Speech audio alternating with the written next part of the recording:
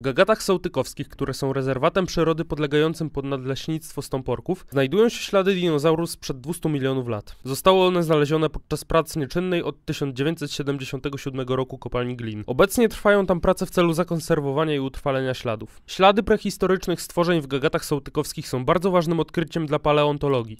Dlaczego? Opowiedział nam o tym Jarosław Pajdak, rzecznik prasowy Regionalnej Dyrekcji Ochrony Środowiska w Kielcach. Te tropy pozostawiły dinozaury, roślinożerne, czyli tak zwane zauropody oraz drapieżniki tetrapody.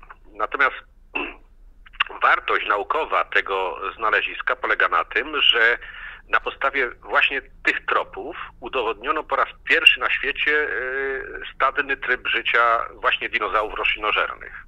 I to jest ta wartość naukowa. Natomiast y, no, na skutek działania czynników atmosferycznych, y, zmiany temperatury, wilgotność powietrza, opady deszczu, no, ta powierzchnia podlegała procesom takim destrukcyjnym. Znaczy piaskowiec nie należy do skał twardych i dlatego e, no, stosunkowo szybko, jeżeli się odsłoni tą powierzchnię, stosunkowo szybko ulega zniszczeniu. Skąd w ogóle wzięły się tam ślady dinozaurów? Kto je odkrył? Na te i więcej pytań odpowiedzi udzielił nam zastępca nadleśniczego Nadleśnictwa Stąporków Jacek Oleś. Jest to rezerwat, który powstał w 1997 roku.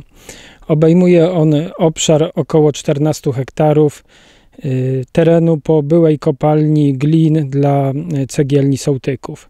Obejmuje głównie nieckę pokopalnianą, ale również y, fragmenty przyległych drzewostanów. Tropy dinozaurów zostały odkryte w wyniku prac kopalni, gdzie zostały zdejmowane kolejne pokłady Y, minerałów czy też gliny i w pewnym momencie zostały odsłonięte piaskowce, w których, płyty piaskowców, w których zostały utrwalone tropy dinozaurów. Spytaliśmy rzecznika Regionalnej Dyrekcji Ochrony Środowiska w Kielcach Jarosława Pajdaka również o sposób zabezpieczenia i konserwacji śladów. Nadleśnictwo swego czasu kiedyś wykonało zadaszenie nad tą powierzchnią, natomiast y, Regionalna Dyrekcja Ochrony Środowiska w Kielcach w tym roku zdecydowała się zabezpieczyć tą powierzchnię poprzez mm, no, lepsze związanie e, cząstek piaskowca.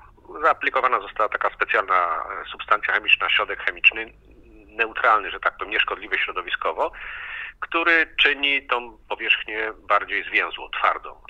No chodzi o to, żeby mm, może nie tyle wyeliminować, ale spowolnić e, e, zachodzące właśnie negatywne procesy na powierzchni gadów. Pamiętajmy jednak, że rezerwat to nie tylko ślady dinozaurów, ale też cała flora i fauna, która się w nim znajduje. O gatunkach chronionych w rezerwacie opowiedział nam Jacek Goleś. Rezerwat mm, został utworzony głównie z uwagi na dwa cele.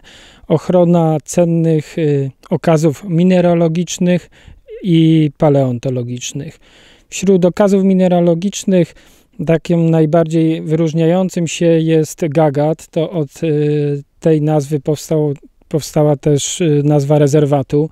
Jest to y, rzadko spotykana odmiana węgla brunatnego, który mm, jest wykorzystywany w jubilerstwie. Ma on postać czarno-smolistej substancji mocno połyskującej.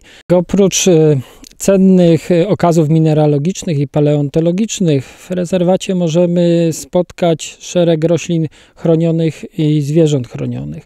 Począwszy od tych najmniejszych porostów mchów poprzez rośliny naczyniowe, e, tu możemy spotkać chociażby skrzyb olbrzymi, czy rosiczkę okrągłolistną, również widłaka jałowcowatego, e, widłaka wrońca. To wszystko są rośliny chronione.